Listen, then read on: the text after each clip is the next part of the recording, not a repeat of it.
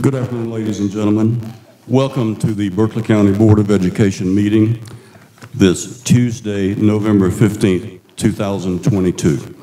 I call the meeting to order. I declare a quorum of members are present and the media has been notified.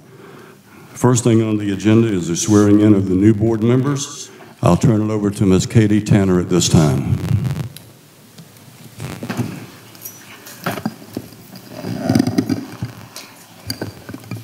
Good evening, Chair Barrows, Superintendent Jackson, board members, and all of you who have joined us this evening. At this time, we will have the oath administered to elected board members. Would Senator Larry Grooms please come forward?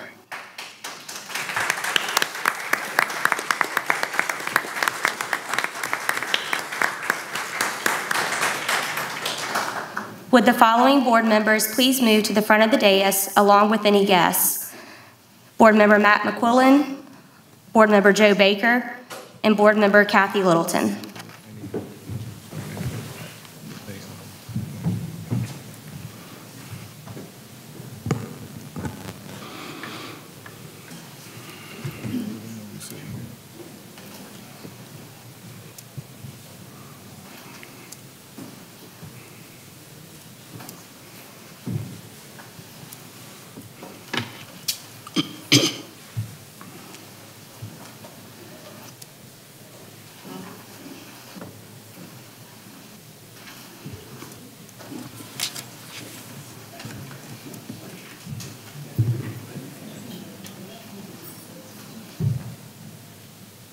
If you would.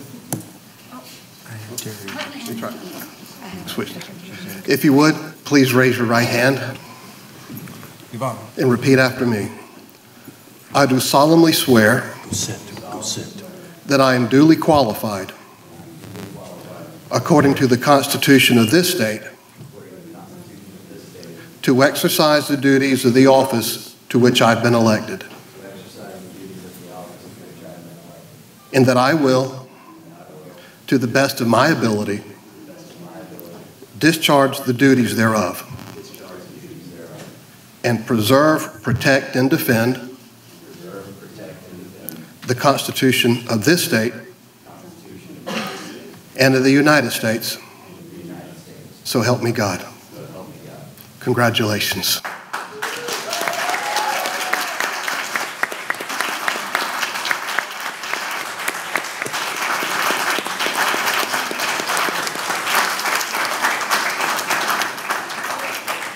Mr. Baker. Mr. Baker, could we get a quick headshot of you over here?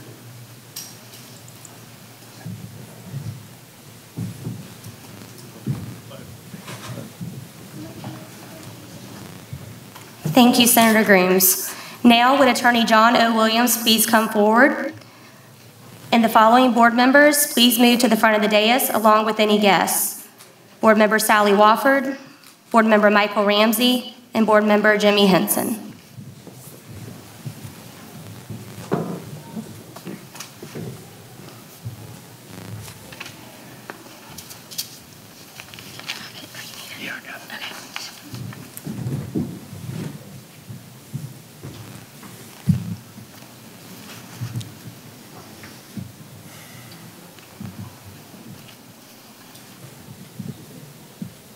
Raise your right hand. Is this one? Sorry. And repeat after me. I do solemnly swear that I am duly qualified, according to the Constitution of this state,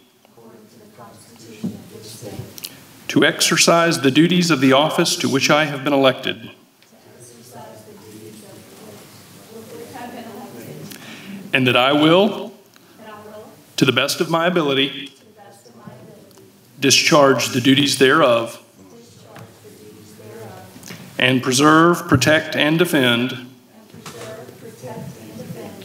the Constitution of this state and of the United States. So help me God. Congratulations.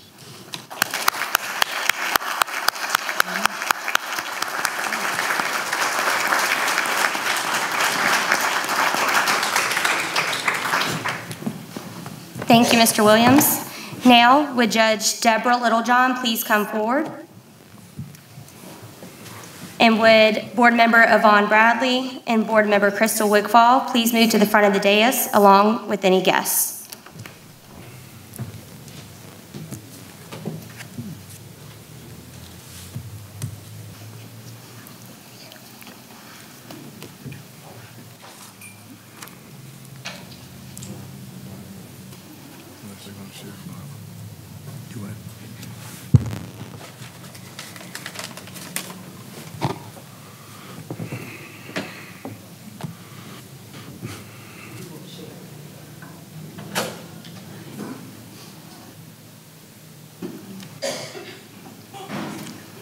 You'll raise your right hand and repeat after me, please.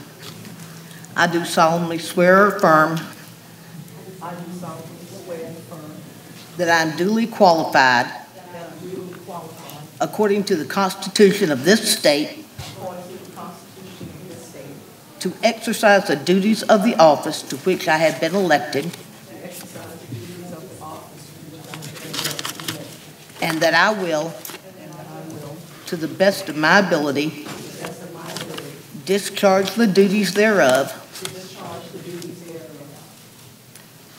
and preserve, and preserve, protect, and defend protect, and defend the Constitution of this state the Constitution of this state and of the United States, and of the United States. so help me God.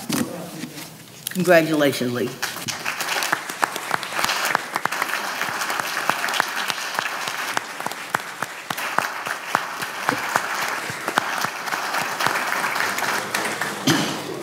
Thank you, Judge Littlejohn, and that concludes this portion of the agenda.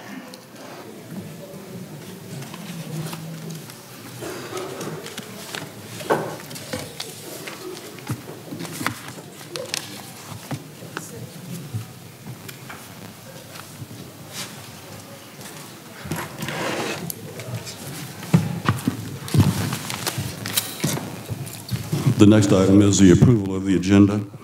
Do we have a motion to approve tonight's agenda? So moved. Do we have a second? Second. Mr. Chair, I make a motion to amend the agenda as follows. Move agenda item 14, election of board offices, officers, to agenda item 1D. Second.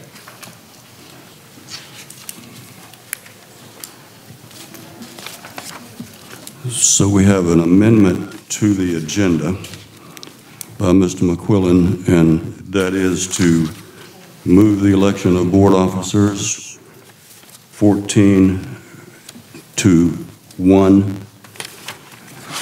What did you say? 1D, immediately following this motion, the approval of the agenda. 1D. Well, 1D is the approval of the minutes. Yeah, to move it to agenda item 1D, so approval of the minutes will be item 1E as Okay. amended. But you have a motion and a second on the table, so you I understand to that. call the question. Thank you for that clarification. We have a motion to move agenda item 14 to item 1D, and we have a second. Uh, Mr. McQuillan made the motion, Mr.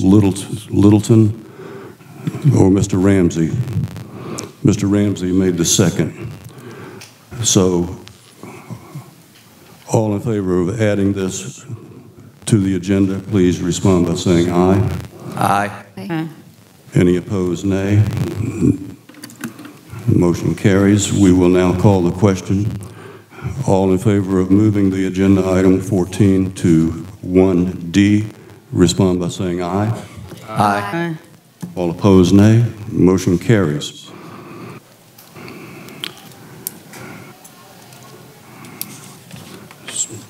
So the approval of the agenda, we have made the amendment, and we are now the, moving from 14 to 1D, which is the election of board officers. I'll entertain a motion for the, uh, for the uh, board officers.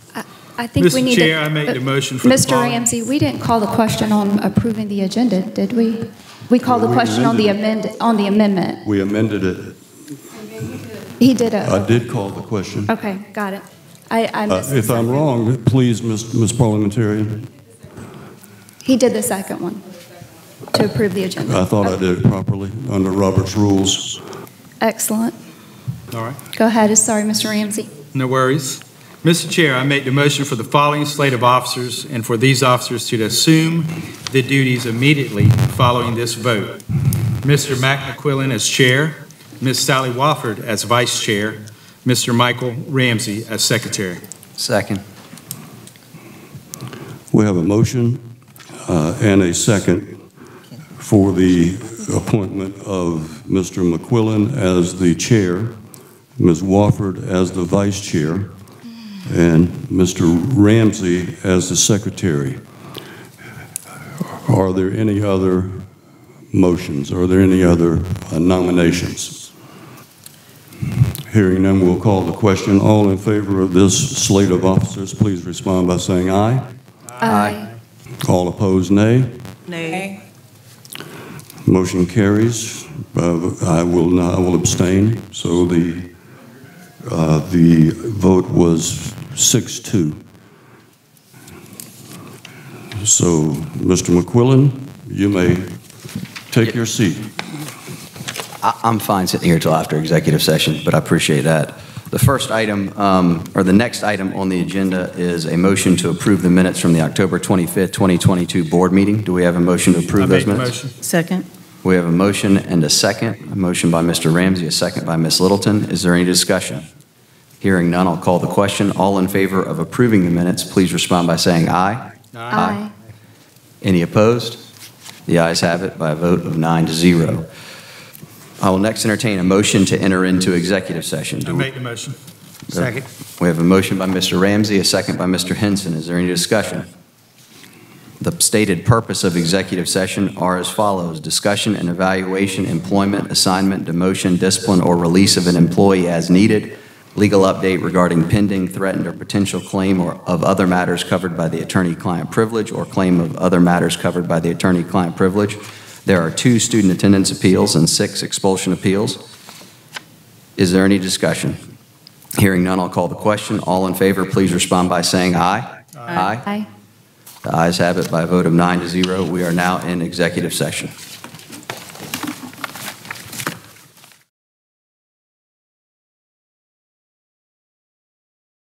Return to regular session. So moved. Second. We have a motion by Mr. Wofford, a second, or Ms. Wofford, a uh, second by Mr. Henson. Is there any discussion? Hearing none, I'll call the question. All in favor, please respond by saying aye. Aye. Any opposed? The motion carries by a vote of nine to zero. We are now in regular session. The next item is the Pledge of Allegiance and a moment of silence. Please stand.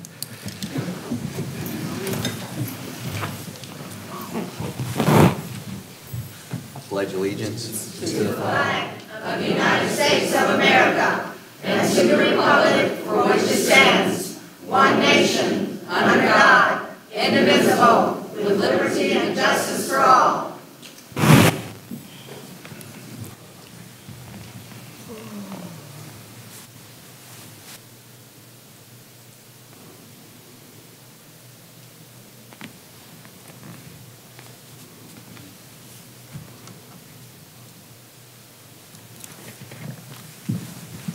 Thank you. Please be seated.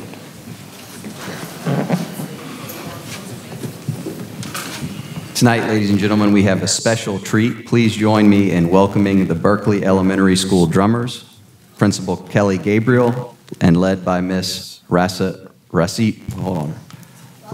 Rasiapo. There we go.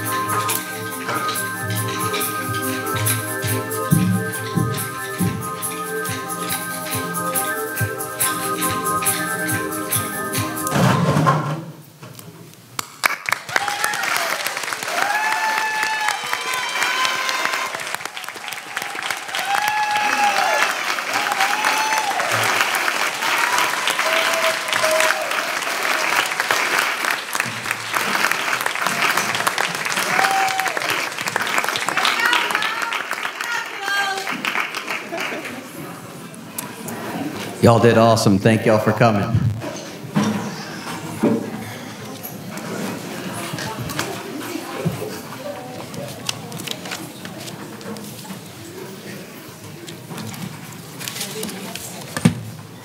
The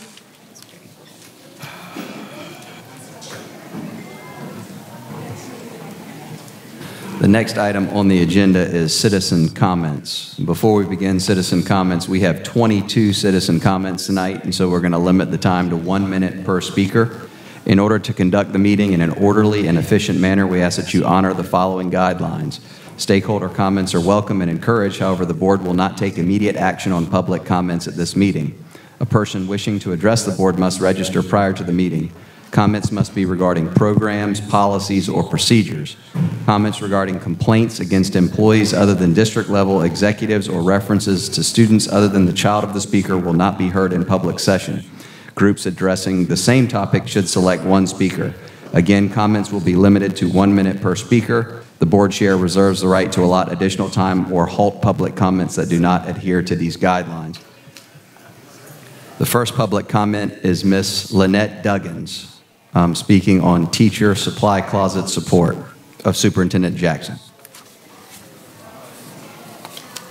Ms. Duggins, please come forward.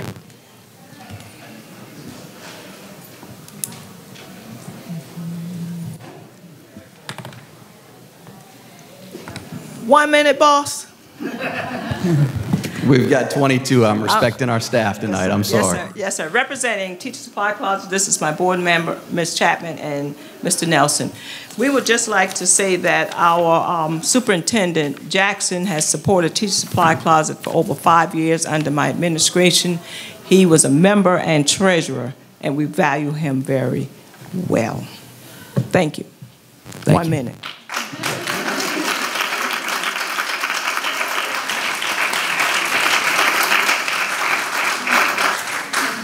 The next speaker is, it, thank you. The next speaker is James McLeod. Please come forward to the podium.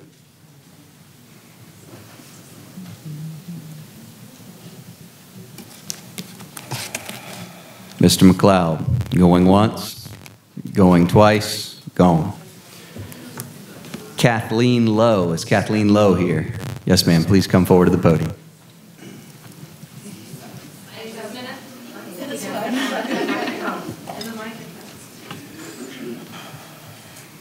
Good evening. My name is Kathleen Lowe. I'm the high school physics teacher over at Hanahan High School, and I'm the Berkeley County Education Association president. And this evening, I'd like to talk to you first, congratulating all the board members of their return and those that are new. Um, that we really, right now, even though the election is over, we really need to move forward and prioritize what needs to be done. And what I need everyone to focus on is that we are in a teacher shortage.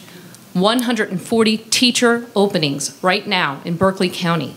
Many high schools, elementary schools, and middle schools are missing science, math, and English teachers.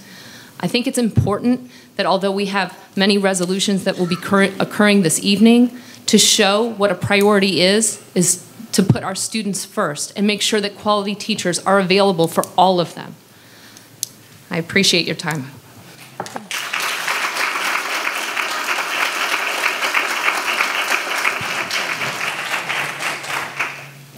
The next speaker is Miss Ann Conder.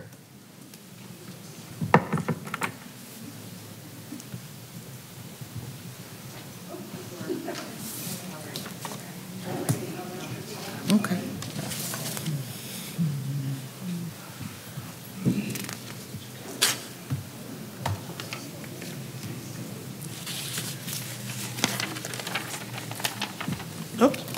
Congratulations to all of you, and this is what I'm going to challenge you to do.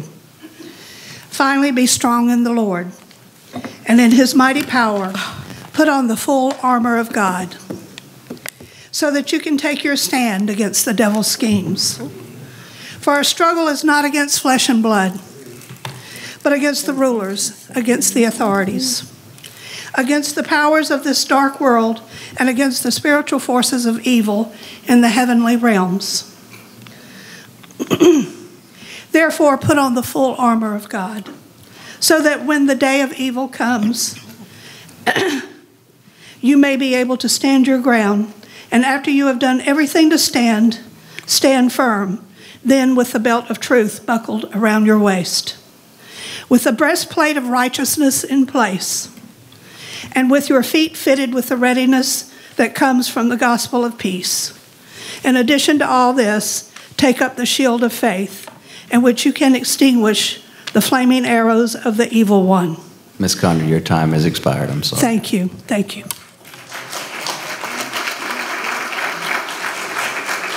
Our, our next speaker this evening is Mr. Tory Lightridge.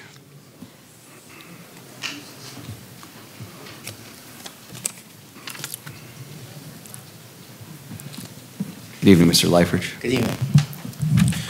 Superintendent Jackson, Chairman Whitley, I mean, I'm sorry. I kid, I kid, I kid. I definitely respect the chair, Chairman McQuillan, and to the rest of the board. Um, I'm standing tonight because our hope was, election does do have consequences, and our hope was we would finally have a return to sustaining a focus on curriculum and supporting our faculty and administrators. And uh, we know that, that this seems to be a quick return to 2016. And I'm, I'm pressing upon you, speaking to my representative, Mr. Baker. I do not know you personally, had a chance to sit with your wife through the election. She tells me that you're a strong person of faith. I don't pay attention to scriptures that are read that, when have an opportunity, are never fulfilled. Mm-hmm. Because that means nothing. That's just empty mm-hmm. words. But I challenge you to break away from the core, be your own person, and vote for what is right. CRT, if CRT does not exist, why in the world will we have a rep, uh, resolution to ban it? That's just a slippery slope that we can stop teaching critical history like redlining, like uh, racial gerrymandering, and things like that. That's history. That's not CRT. Thank you.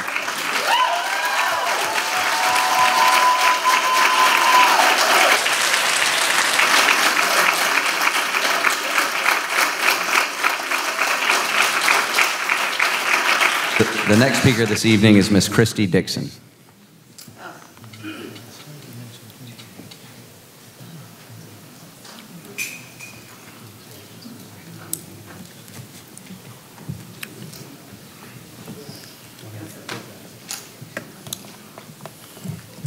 Good evening, Chairman Quillen, Superintendent Jackson, board members. Congratulations on all of your wins. I know they were hard fought wins and you deserve the seat that you sit in. I come here today also with a Bible story, um, a genuine one though, because I feel through the election process, a lot of things were torn down. And I think this is a time of rebuilding.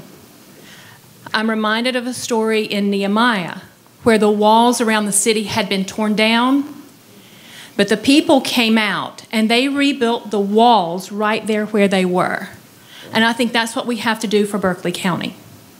You all are going to be leading us. And as the head goes, so does the tail. And I look forward to the good things I think you will do. Thank you. Thank you. The next speaker is Ms. Heather Hickman.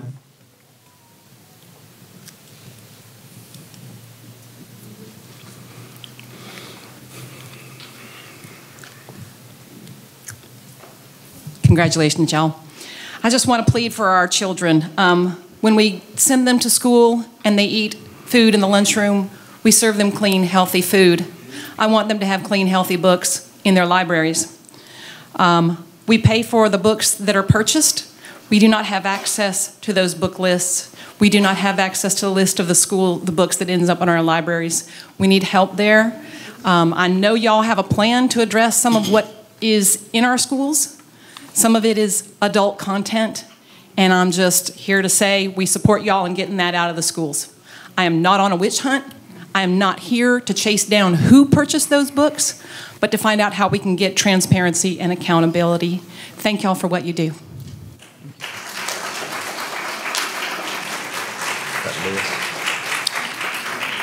The next speaker is Ms. Alana Lewis. Hi, I'm the librarian at Sangaree Middle and the secondary lead librarian in the district. And on behalf of Berkeley County librarians, I would love to welcome you to the board. BCSD is blessed with librarians that transform teaching and learning. Uh, we are have master's degrees and K through 12 certification and have specialized training in evaluating and purchasing books in order to build a library connection collection that meets the needs of our community and state curricula. Um, there has been an abundance of misinformation and hyperbolic statements and political rhetoric about what is in our libraries, but I can assure you BCS libraries do not contain porn and CRT. We have board approved policies that we follow when selecting materials, IFB DAA, and we also have a reconsideration policy, KNBA, that allows people to challenge specific books for their own child. So I would ask that you follow the board policies that are also in place. I don't think we need an additional committee on top of that. Um, and I would remind you that in the Supreme Court case Island Trees versus Pico, the court held that school boards cannot remove instructional materials simply because they disagree with the point of view or content. Uh, I would invi invite you to visit any of our school libraries and see what's actually happening where we transform learning. Thank you. Thank you.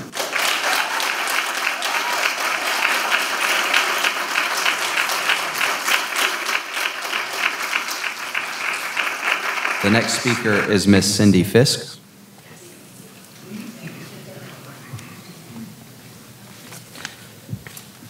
Hi, thank you, board members, Chair McQuillan, and Superintendent Jackson for always listening to the public, every meeting. I know that all of you take in consideration um, what the public says before you make a decision. Tonight, I'm asking you to consider my question. What is your definition of critical race theory? Will there be a list of historical topics given to teachers that are considered permissible to teach in the classroom? And also align with the South Carolina state standards. I've had many teachers reach out to me in the last day, and what you may define as critical race theory may not actually be considered as actual critical race theory. Thank you. Thank you.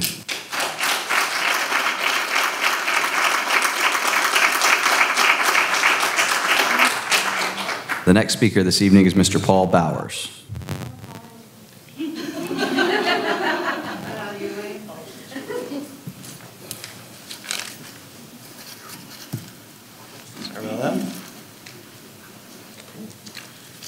Hello, Paul Bowers. I live in North Charleston. I send my kids to Charleston County Public Schools, but I came out tonight because the attacks on the full teaching of history and on the acknowledgement of gay, lesbian, and transgender people are happening across our state and across our country, and you are about to participate in it tonight. The folks with Moms for Liberty, the folks in right wing activist circles, are coming for us today the same way they did in McCarthy era. They stand in the same ignominious tradition of book banning, of seeing boogeymen around every corner. The same folks who so many years ago would have said secret communists are around every corner are now going to tell you there is secret critical race theory, there is secret pornography being smuggled into our schools. No matter how you define it, no matter how much you treat them in good faith, they will not stop and they will attack teachers, and you will lose more teachers. And you can't afford to do that.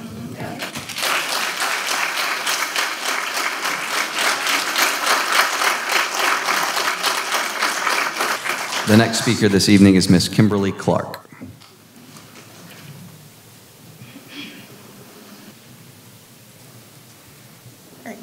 Good evening, Board. Thank you for allowing us to speak. Um, my name is Kimberly Clark. I am a social studies and English teacher at Hanahan Middle School here in the district. Um, and I just wanted to speak about not so much why we um, don't need to spend our energy um, effort in trying to ban critical race theory, which is something that is not being taught in our classrooms. As a social studies teacher for the past 10 years in South Carolina, I can attest that it is not part of our standards.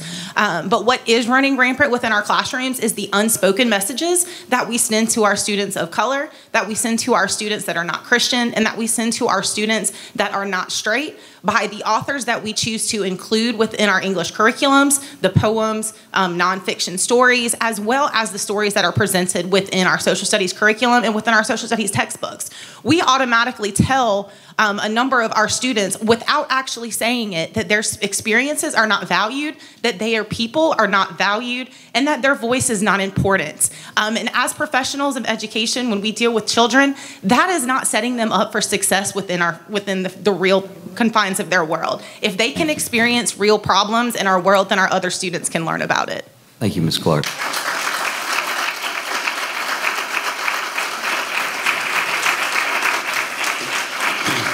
The next speaker is Darian Jones. Jones? Darian? Oh, there he is.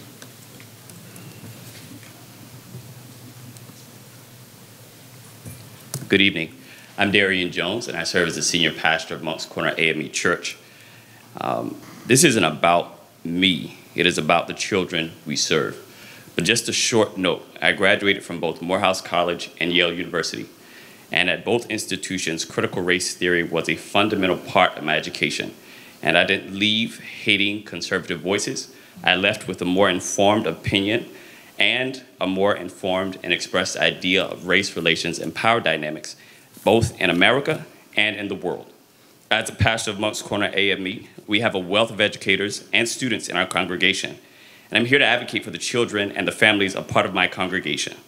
To understand the nuance of our church, its physical makeup, its parishioners, and its history within this community, you must have some level of engagement with critical race theory understanding the points like the fact that our church has been on the same property since 1886 requires an understanding of critical race theory.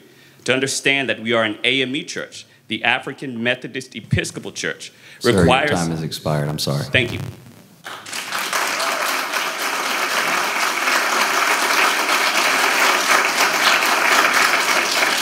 The next speaker is Letitia Vaughn.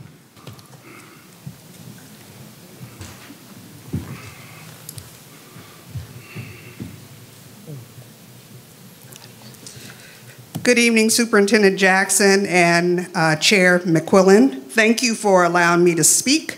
My name is Letitia Vaughn, and I am a member of the Pro Truth Coalition, which has membership across the state of South Carolina. I'm here to speak about the CRT resolution that is on your board agenda. My question is similar to other questions. How are we defining critical race theory? As a previous public school educator, district leader, I understand that CRT is not part of any K 12 curriculum or approved state standards. If this is the case, then why is this part of any discussion?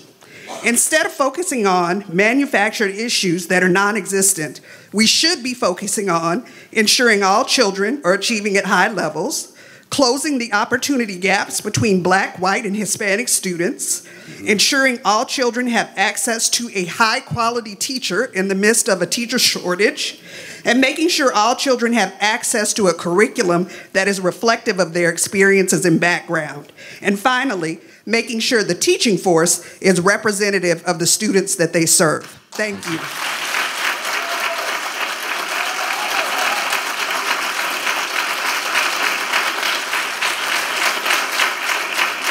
The next, the next speaker is Ms. Sharina Haynes.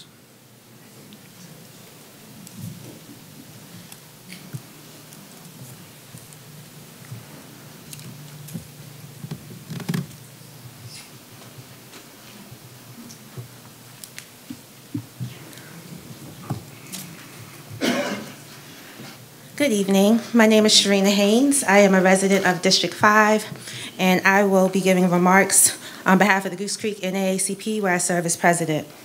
Today, we celebrate historically high levels of diversity in our schools, yet structural racism and racial disparities have never been more pronounced.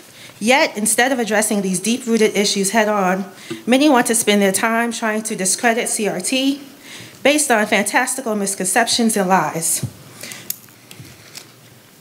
To be clear, post midterms, the NAACP will be on the offense for justice and education for all marginalized students.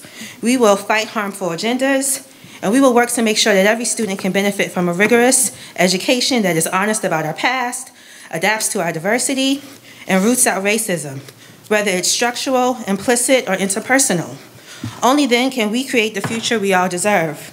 I do want to take some time to thank Superintendent Jackson each of the school board members, his administration, including Dr. Tiffany Richardson, who has served as in-house counsel for the district with her expertise in educational law, Thank for you. leading a bold effort to address the pressing needs of our district. Thank you.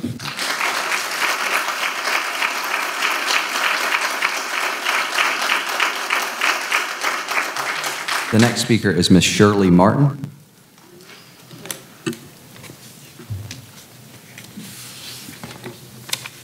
Good evening. When I came tonight, there were a few things I wanted to discuss, but after listening to the litany of things that you're dealing with, all I can say is that I am very grateful that you have a passionate, knowledgeable leader at the helm of this district.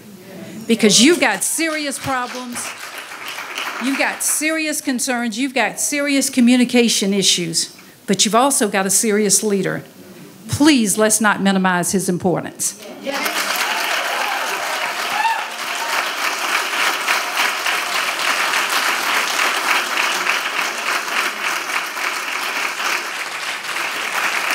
The next speaker is Ms. Tracy Hughes.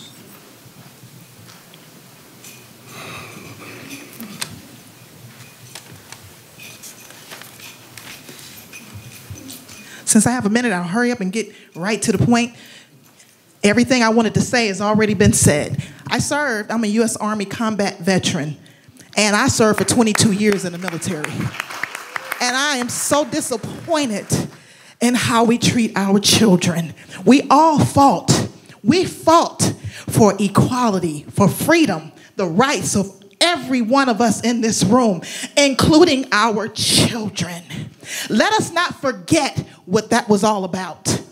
Let us not forget, and thank you for the great leader that you have in charge here, because he is an awesome man of God, and that's what we need on the top.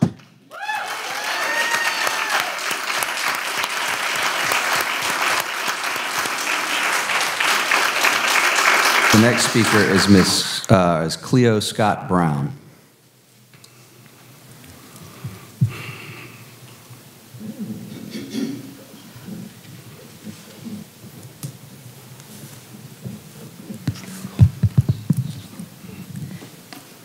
Thank you all for the opportunity to speak. I'm Cleo, I'm from the Creek, and I'm a former employee of Berkeley County Schools. Before white nationalist strategist Stephen Bannon made it a CRT a part of a national strategy to get just regular white citizens to participate in their agenda to divert public funds to private schools, I doubt if any of us had really heard of CRT, since it wasn't anything in the schools. The problem is that since none of these discussions uses the actual definition of CRT, activists have the opportunity to sweep all sorts of things under the rug and to ignore complete and accurate history. My time can't be out on the first paragraph. no. Thank you, ma'am.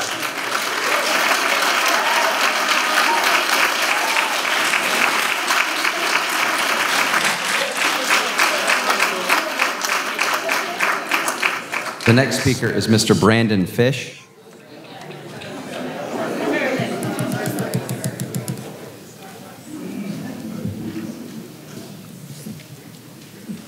Good evening and congratulations on uh, being elected to the Berkeley County School Board. I'm here tonight proudly representing the Charleston Jewish Federation. We are a nonprofit that functions as the hub of the Jewish community of the Low Country, which includes 12,000 Jewish residents.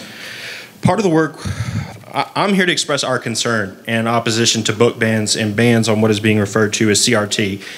In other counties around the country, these vaguely worded bans have had an impact on the teaching of the Holocaust and its important lessons. Learning about the Holocaust and other dark chapters in our history, including slavery, Jim Crow, and their enduring impacts on our society, is crucial in ensuring that these historic mistakes are never repeated. It is also critically important that our diverse student bodies see themselves reflected in their coursework and are adequately prepared for the diverse workplaces and universities that they will enter as adults. Lastly, we just want to express our faith in the professionalism of our local school administrators, teachers, and school district employees and remind this board that South Carolina is facing an unprecedented teacher shortage, a problem which can only be exacerbated by curricular censorship and the furthering of the narrative that teachers are indoctrinating our students. Please reject this ban.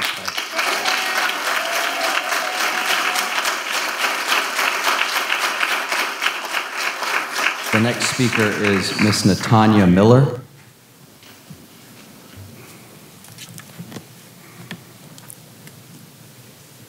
Good evening. My name is Natanya Miller, and I'm also here from the Charleston Jewish Federation.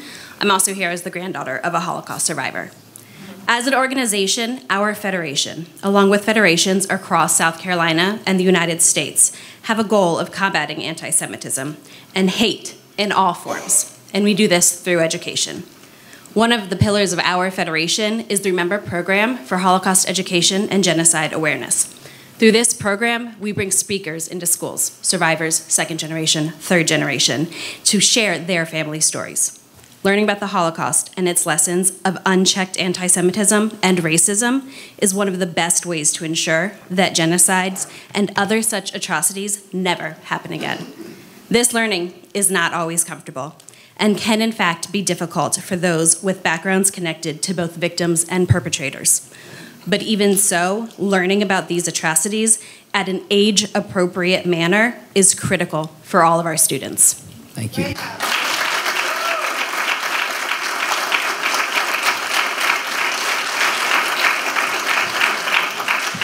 The next speaker is Marcus McDonald.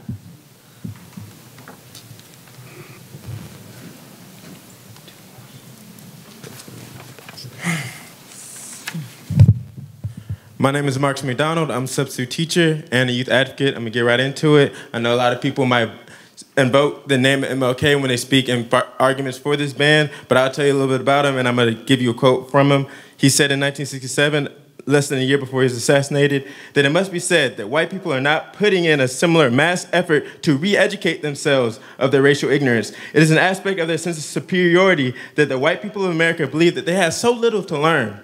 Loose and easy language about equality resonates resolutions about brotherhood and pleasantry of the ear, but for the Negro, there's a credibility that he cannot let go. He remembers that with each modest advance, white people promptly raise the argument that the Negro has come far enough. Each step forward accents their ever-present tendency for backlash. This bill is a backlash. It's a backlash to black students. It's a backlash to black educators. And we will remember Martin Luther King's word. We will remember that Thomas Monck, who this city is named after, was a slave trader who tortured and branded his enslaved Africans. And we will remember this, and I will remember all the school board who vote for this and prioritize comfortability over the lived experiences of 17,000 black and Latino students in your district. Thank you. Thank you, sir.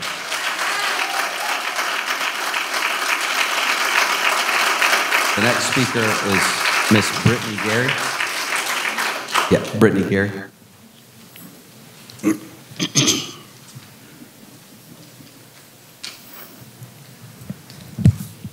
Good evening. Teachers have lost a great deal over the last three years. The one thing that we gained was a superintendent who was willing to listen to teachers, willing to allow us to create, and chose to see an opportunity gap rather than simply seeing just a learning gap. With so much being inconsistent in our district, I'd like to ask for board members to step back from the political for just a moment and model for us as teachers the BCSD work and life skills and what it means to collaborate, communicate, and walk together through the challenges we share. I challenge you to collaborate and model the work and life skills with our superintendent, teachers, and district personnel to identify our needs and challenges and not assume that you know what those are. As teachers, we've been required to show data that we are working with our students and that we're looking for solutions together. As a board, you must hold yourselves to the same standards as you are holding us. Data that shows you're working for what's best for our students and my kids. The way you choose to collaborate and communicate with one another as board members is demonstrating to all of us how you will communicate and collaborate with us, our superintendent, our teachers, our students, and stakeholders. Whatever is true, whatever is noble, whatever is right, whatever is pure, admirable, whatever is excellent, please do those things. Thank you.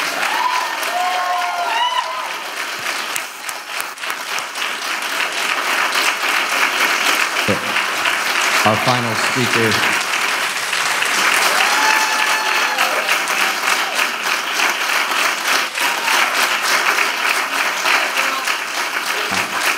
Our final speaker this evening is Dr. Chris Hanley.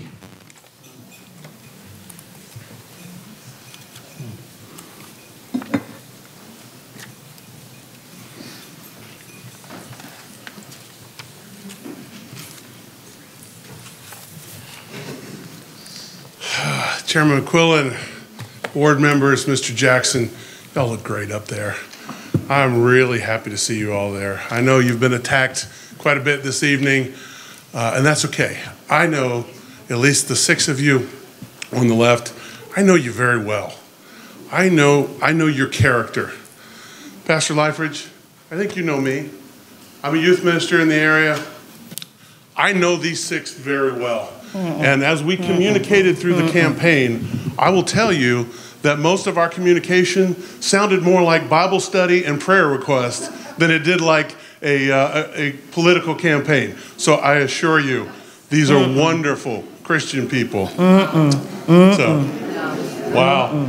You're going to really impugn the character of someone and tell them that they're not a Christian? That's, woo! All right. Well, I'll tell you. The, the fact that I know you all will be led by the Holy Spirit gives me great comfort. And I will tell you the same thing that I told. Yeah, time's up. Thank you, Excuse sir.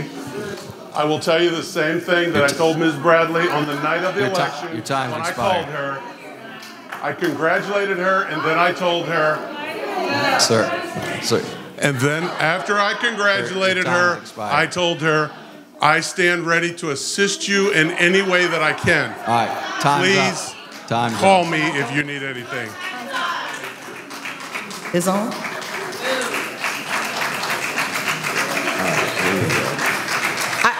Miss Dr. Hanley, he is correct. He did call me, he congratulated me, and he said he would work hand in hand with me. But I need all of you to work hand in hand with us. Tonight is not a night that I am a Christian. I am so sorry. I asked Pastor Drayton, didn't realize that was him, to speak to me. Because what we're about to do in this session, ladies and gentlemen, you are being fooled by these six. Okay? I'm sorry.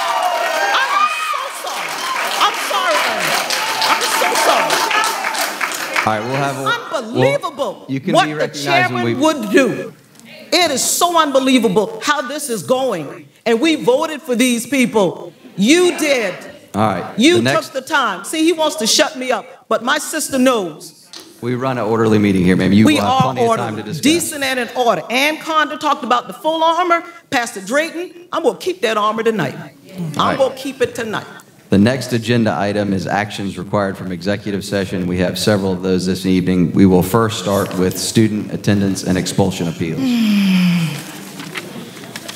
In the matter of student number one and two on attendance appeals, I move that we deny the appeals. Second.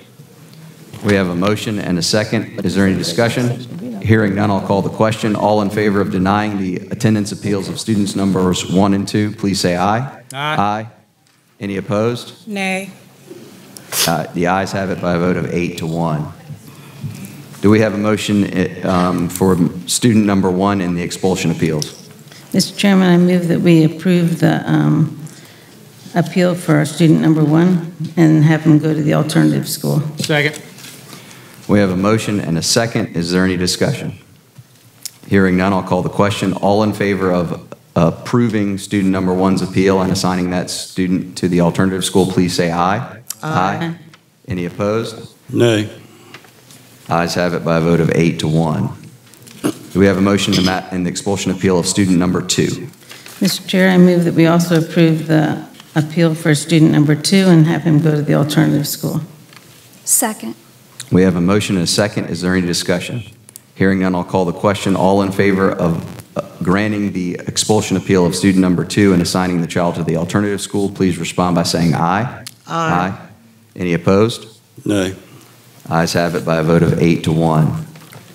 In the matter of student number three, I move that we grant the expulsion appeal and assign the child to the alternative school. Do we have a second? Second.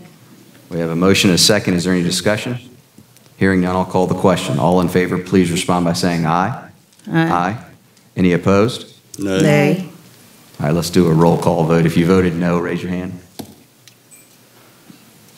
All right, the ayes have it by a vote of six, three. Five, four, excuse me. The, the next uh, motion is the ex- expulsion appeal of student number four. Do we have a motion? Mr. Chair, I move that we deny the appeal um, and the student remain where he is. Second. We have a motion and a second. Is there any discussion? Hearing none, I'll call the question. All in favor of denying the appeal of student number four and allowing that child to remain at the school where he is currently attending, please say aye. Aye. Any opposed? Nay. The ayes have it by a vote of eight to one. Do we have a motion in the matter of student number, is it six or five? Five. Five. Mr. Chair, I move that we deny the appeal for student number five. Second. We have a motion and a second. Is there any discussion? Hearing none, I'll call the question. All in favor, please respond by saying aye. Aye. Any opposed? The ayes have it by a vote of nine to zero. In the matter of student number six, I move that we grant the appeal and allow the child to attend the alternative school. Do we have a second? Second. We have a motion and a second. Is there any discussion? Hearing none, I'll call the question. All in favor, please respond by saying aye. Aye. Aye. Are there any opposed? Nay. Nay. The motion carries eight, or excuse me, six to two. All right, we have some other items um, out of executive session. Ms. Littleton, you are recognized. Mr. Chairman, I make a motion to terminate the employment of Dr. Tiffany Richardson as an in-house general counsel for Berkeley County School District. And retain services. No, we're going to, we're going to maintain order in this meeting. And retain the services of Mr. Brandon Gaskins effective immediately as discussed in the executive session.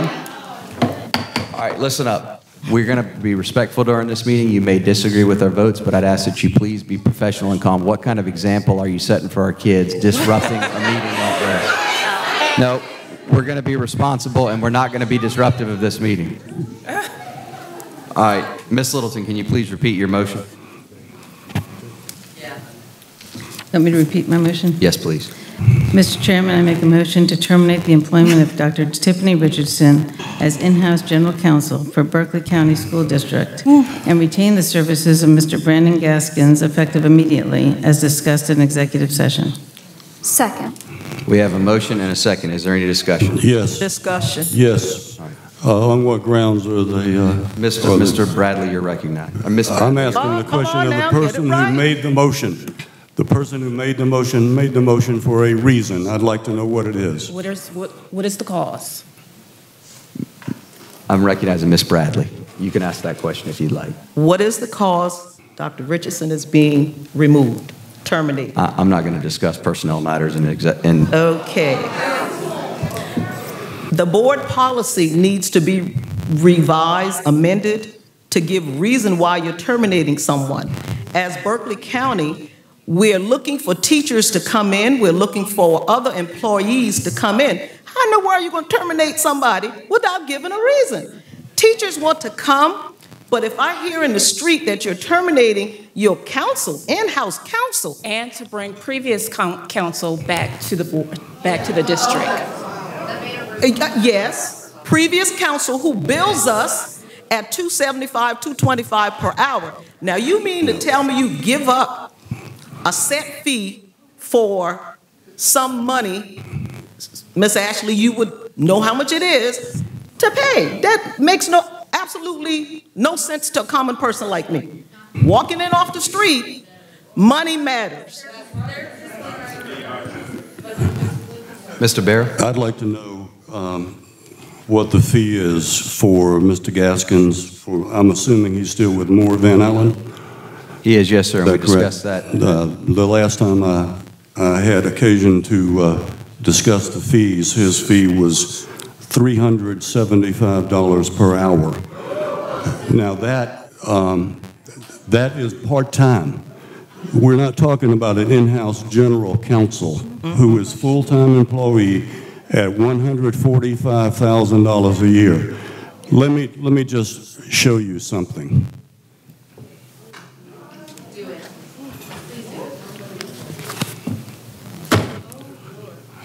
Those are invoices, front and back, for legal fees that total $1.6 million Hell yeah.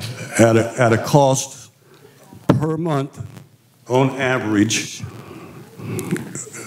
of $25,946.84 from the past legal fees. The legal fees that Dr. Richardson receives at 145 per year is $11,666. A difference of $14,000 a month, ladies and gentlemen. So if we're talking about fiscal move that we call the accountability, question. if we're talking, no, I am not finished. You're not going to stop me. We have, a- we If we're have, talking about we- fiscal we have a motion. accountability, Mr. Barrow, if we- we're talking about fiscal accountability, Mr. Barrow, we have a where is motion and now? a second to call the These individuals ran on a platform of fiscal conservatism. Where is it? Mr. Barrow, we've got a motion and a second to call the question. Is there, Well, So you're, you're All in silencing me, of the Mr. motion? Chairman? Are you silencing me? I'm just saying. Are you there's a- silencing me? There's a motion on the floor. You know, there was a the time question. when somebody was silenced and there was a lawsuit. There was a. motion. Do you recall that? Mr. Chair, there's a motion, or Mr. Barrow, there's a motion and a second to call the question. All in favor of calling the question, please respond by saying aye. Aye. All right, let me see. Y'all, we need to be quiet. I can't hear the ayes. So the- there's a motion correct. and a The mo- second. It's dead. There's a motion and a second There second was to too much call. the- time in between the motion before the second. There's a motion and a second to call the It is question. dead All in favor of calling the question, please respond by saying aye. Aye. All right, all opposed? Nay. Nay. All right, so there's. And you see three- what's going on. Three nays. You see the All right, the motion to call the question You're right. passes. You're right. We'll now call the question. All in favor of Ms. Littleton's motion, please respond by saying aye. Aye. Any opposed? Let's have a Nay. standing count. Nay. The vote, the motion carries six to three. Uh, don't do it, don't do it.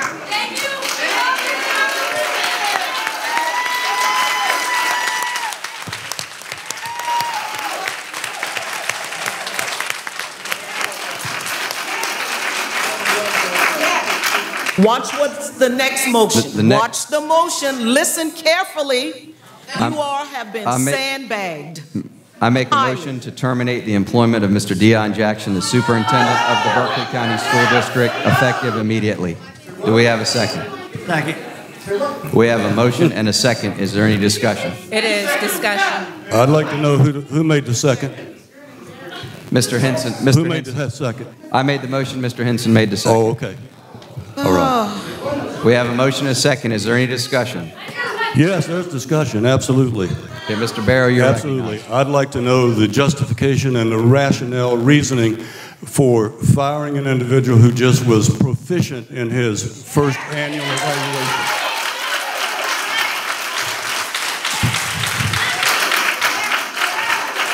What's the reason, Mr. Chairman? You made the motion. What's the reason? Why, why are we terminating his employment? Mr. Barrow, I'm not going to discuss personnel matters in open session. Okay, well, I- we're going to continue the discussion then, because I'm not going to let it go. Is there any, any further discussion? I believe, uh, do I have the floor, Mr. Chairman? Yes, sir. Okay. I believe the reasoning is because of what uh, I've been told is a uh, unconstitutional, unlawful contract. Because Mr. Jackson's contract is a multi-year contract, and it is for a supermajority, in this case, six individuals that have to terminate his employment, as opposed to sometimes the simple majority. That's in his contract. Some people are believing that this is unconstitutional. I want to read into the record because this came up when Mr. Jackson's original contract, the contract, was signed and executed by me. The question is, is Mr. Jackson's contract unconstitutional and unlawful? Let me read you a legal opinion from Andrea White, from White and Story, who practice only, only education law which she's done for 34 years. Pay attention. Dear Mr. Barrow, I'm writing to follow up our phone conversation on yesterday in which you ask that I provide my opinion whether the Berkeley County School District Board of Trustees may lawfully enter into a contract with a prospective superintendent where the contract contains a provision re requiring that a, quote, supermajority, end quote, of the board vote to unilaterally terminate the contract.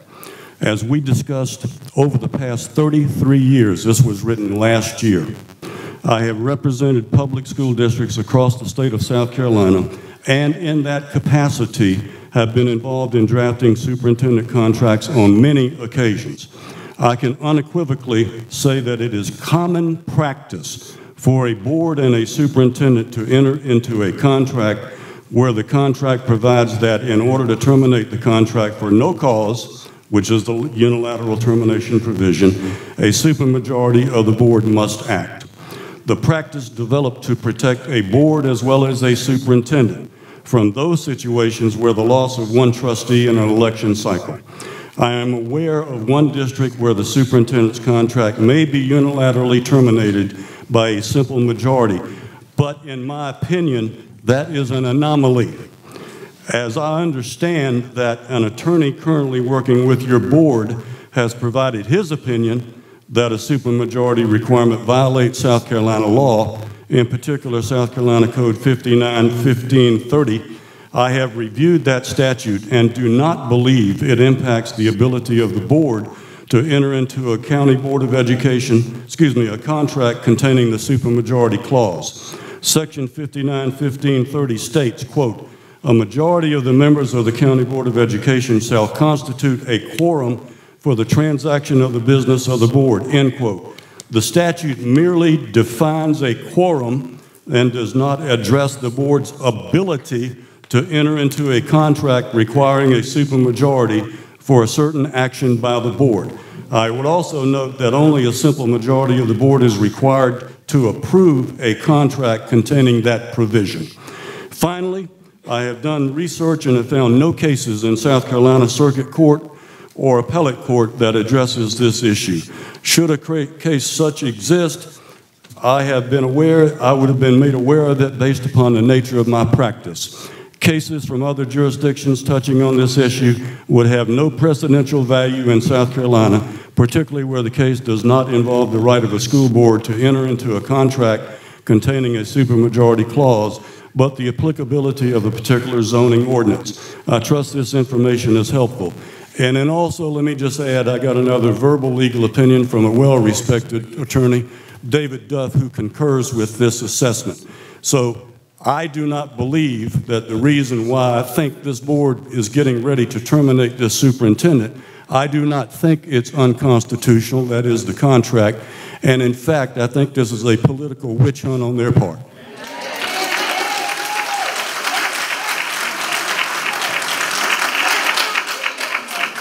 All right, we have a motion and a second. All in favor, please respond by saying aye. Aye. Any opposed? Nay. Nay. The motion carries six to three. Miss- Mr. Henson, you are now recognized. Thank you. As a new board member, Mr. Henson is a part of the six-member team Dr. Hanley just referred to. We, I was not notified of any of these resolutions or, or recommendations. It is unbelievable that on the first night of a new board, that such things would come up. Unbelievable. We have another motion. Unbelievable. We have Mr. another Chairman. motion. I make, I make a motion to name Anthony Dixon.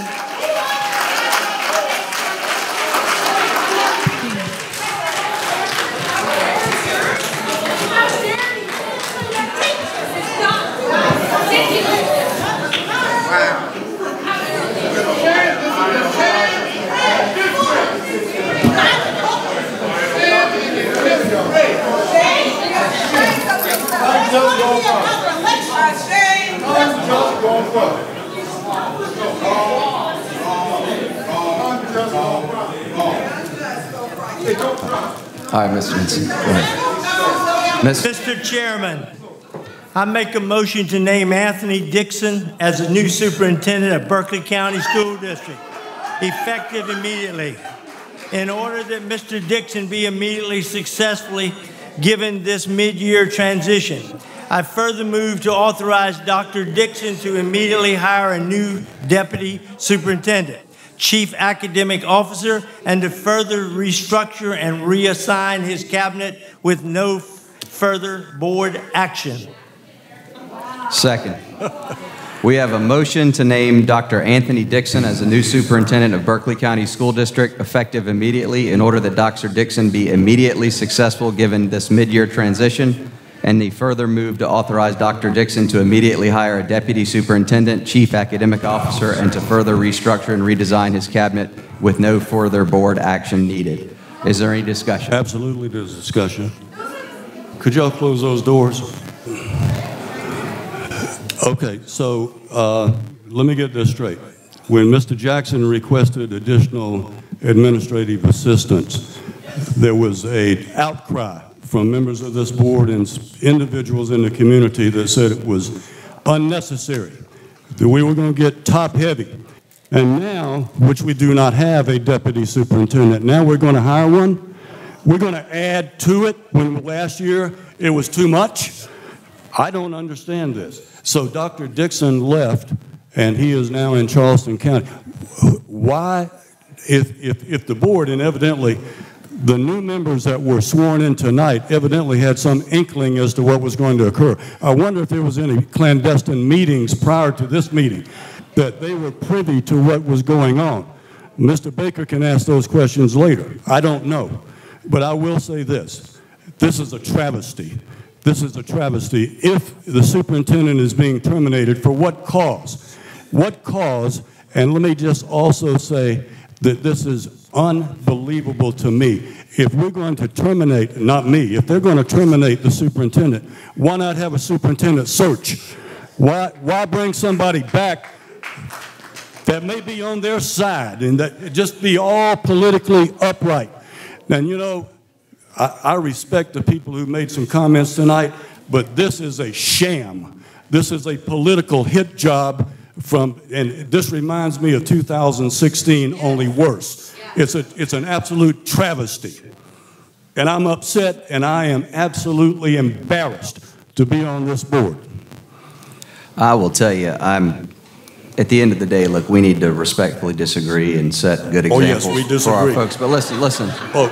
I true, I, tr- uh, I, I, I, the reason, I will give you the basis for my reason. I know Anthony Dixon. I know Anthony Dixon. I know will do a- Deon Jackson. Will will do a good job. I know Deon Jackson. He was the chief, he was the head academic officer. I truly believe that he will be best for our teachers and children in this district, which is why I'm voting for him. Don't Because- discuss that with him. Because of his focus on academics and my experience with him as the principal of Philip Simmons High School, at Cainhoy School, and various other schools. I, you can disagree with me, but I'm telling you, I truly do believe that he will be best for our children and our teachers in this district. Now, you, you, uh, Mr. Mr. Chairman, you, you told us that you were going to uh, have someone explain the reasoning for Mr. Jackson's termination. I'd like to hear that. I'd like to hear the rationale, the reasoning, because you, you promised We're on we Mr. hear Dixon's motion now, sir. Say again? We're on Mr. Dixon's motion now, Dr. Dixon's motion. Well, you've now. already hired Brandon Gaskins. Is that correct? The, the motion passed. Okay, the motion Brandon. passed. So Passed. you indicated that he would be giving us an explanation, did you not? If he is our attorney, I would like an explanation as to why Mr. Jackson is being terminated. You will get an explanation from the attorney. Well, where is he? Yeah, I don't believe Mr. Gaskins is here this evening. Oh, okay. So there's no justification, there's no reasoning for terminating the superintendent because you said we would hear tonight the reasoning. You said that, and I'm holding you to it in public arena for you to embarrass yourself. So All right. what is it? We have- What's the reason? We have a motion and a second. All in favor, please respond by saying aye. Aye. Any opposed? Yeah, I oppose it vehemently. And the new members of this board, I'm ashamed of you for listening to this foolishness. Motion passes six to one. Are there any other motions associated with the executive session? I do not believe so. The next item on the agenda is temporary committee assignments if a quorum is not present. And so let me, um, let's figure this out. So the chair, the Committee on Academics and Innovation, Ms. Littleton, that's your committee. Who's on that committee with you? You and Michael? Is that the only, nobody else new needs to be added? So Michael and Kathy will currently serve on that committee. The Committee on Finance and Capital Planning, Mr. Barrow and I are both here. And then the Committee on Human Resources, are there any members that are on the Human Resources Committee present? I do not believe so. So the temporary committee assignment, oh, Sally is. Yeah. So I will appoint Sally as chair temporarily of the Human Resources Committee and also have um, Jimmy Henson and Joe Baer serve on that committee with her as well. T- These are just temporary committee assignments, so. All right, well, at this time, we'll now recess for committee meetings. Miss Miss Littleton, the Academics and Innovation Committee.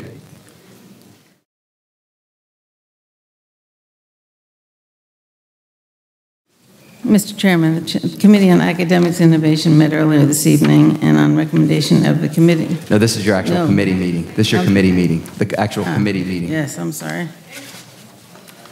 A little.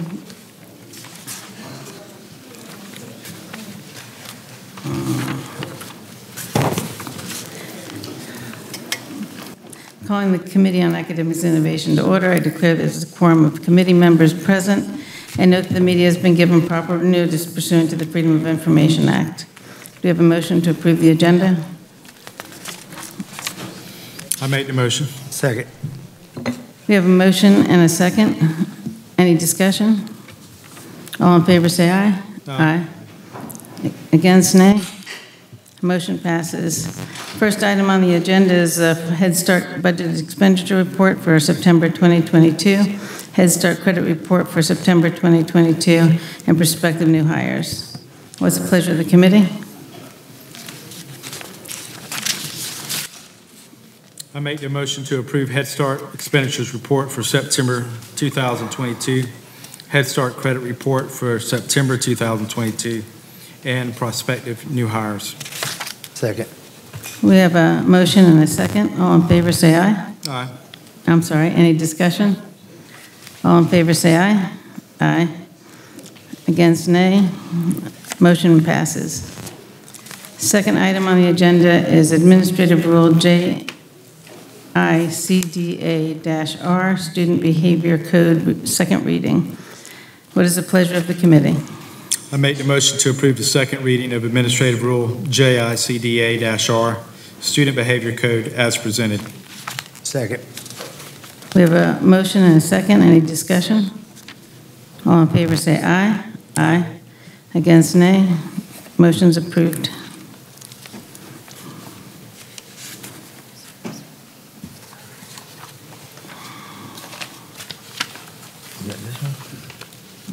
Yeah, I'm getting to it, sorry.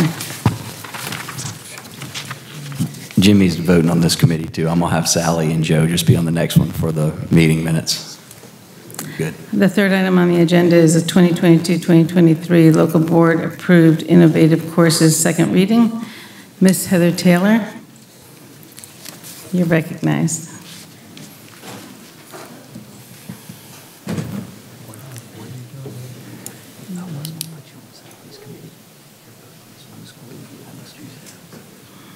Board Chair Littleton, members of the board. The South Carolina Activity Coding System requires that the board approve innovative and locally board approved courses annually. Instructional activities that are currently offered in schools but are not listed in Table 1 of the Activity Coding System must receive local board approval. A student can earn only an elective credit for a locally designed elective approved course. All courses are highlighted in yellow, need local board approval. These would be the Unified PE as well as the Future Ready course. Thank you very much. How's the um, uh, committee? I make the motion to approve the proposed 2022-2023 local board approved and innovative courses as provided. Second. We have a motion and a second. Any discussion? All in favor say aye. Aye. Aye. Against, nay? The ayes have it. At this time, I'll entertain a motion to adjourn the committee so that the Finance and Capital Planning Committee can begin. I make the motion to adjourn. Second? Second. We have a motion and a second. Any discussion? All in favor say aye. Aye. Aye. Opposed, nay. Motion's passed.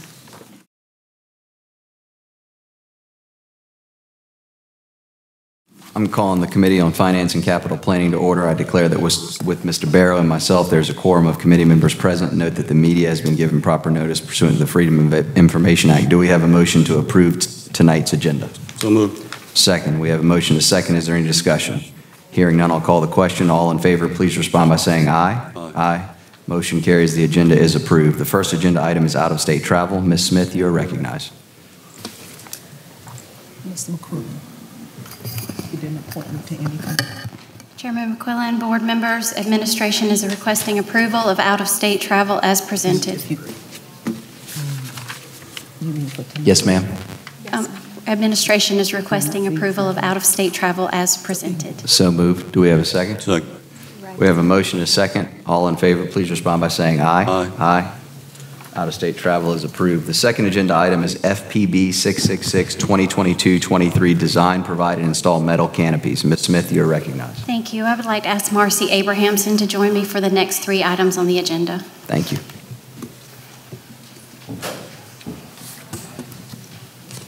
Good evening, Chairman McQuillan, members of the board. Um, Tonight, we present to you fixed price bid number 666-2223 for the design, to- for the design, provision, and installation of medical, metal canopies.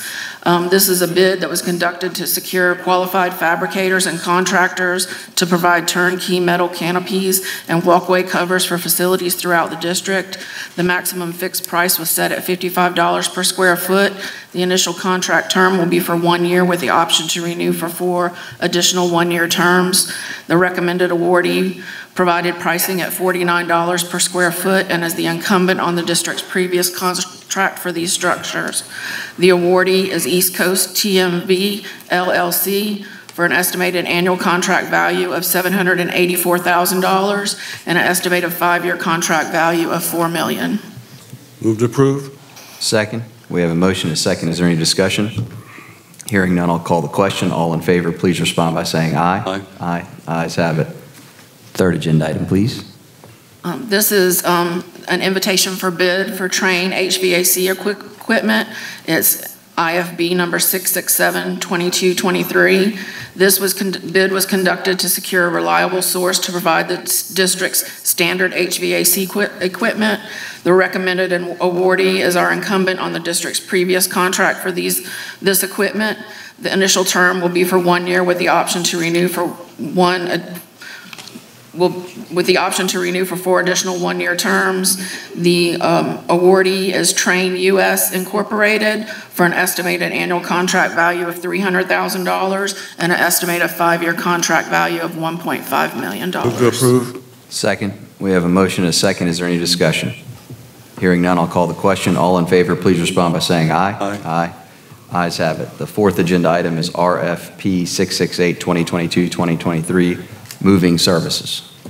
Um, This request for proposal was conducted to establish a term contract for moving services to support the district's facilities department with large moving projects.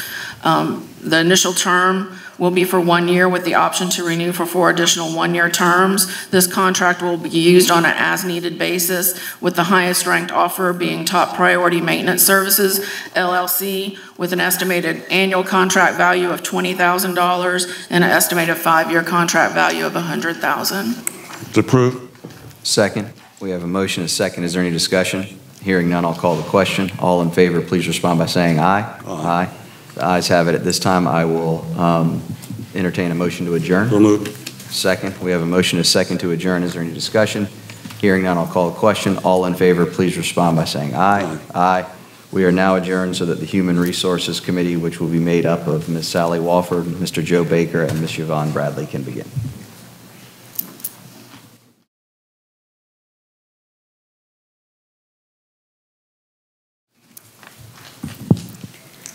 I call the Human Resources Committee to order. I declare a quorum is pre- present and the media has been notified. I'll now entertain a motion to appro- approve the agenda. Motion. Second. There's a motion by Mr. Baer, a second by Wofford to approve the agenda. Is there any discussion? Hearing none, we'll call the question. All in favor, please respond by saying aye. Aye. Opposed, nay.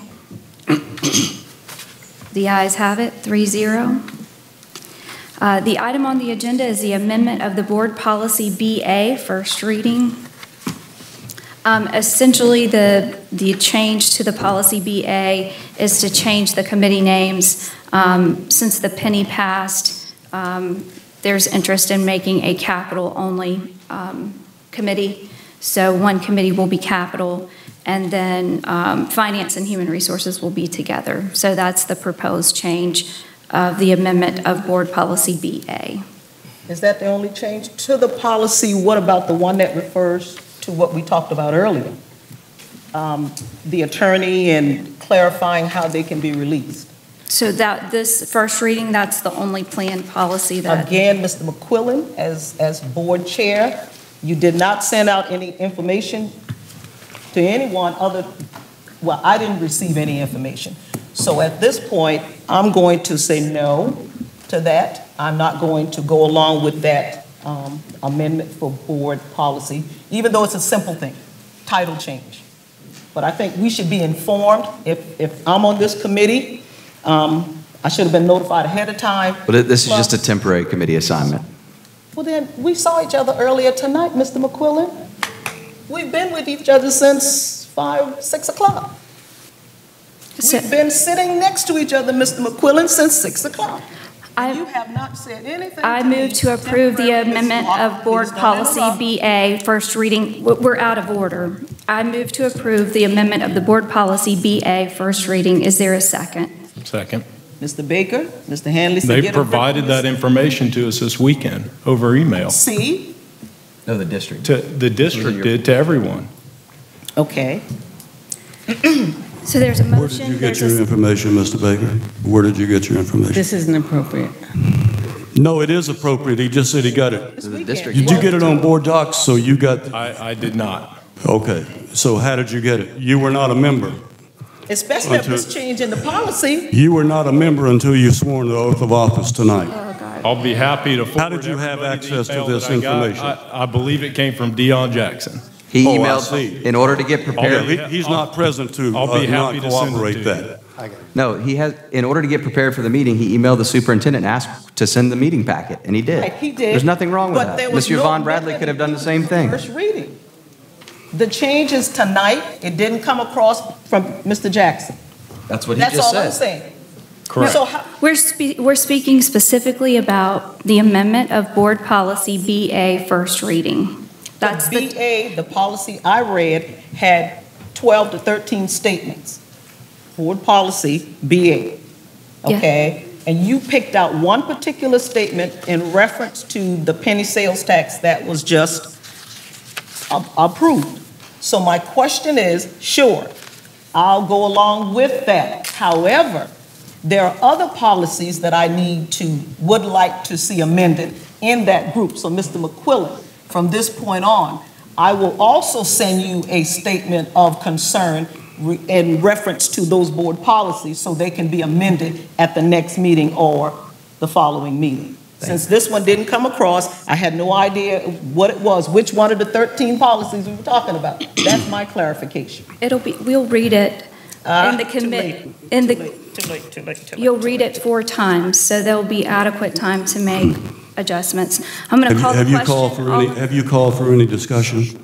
She, she's Yes. about to do that. Okay. Yes, sir. Okay, so I want to ask for some discussion on this. Sure. Because BA, policy BA stipulates the positioning of the board members.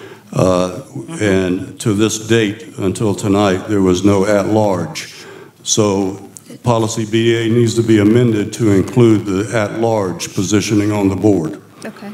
That's a good, that- that's a good constructive comment. Ms. Bradley, I understand your comments too, and this is first reading, so we can address those at second reading before it goes to the full board for a vote. Yeah.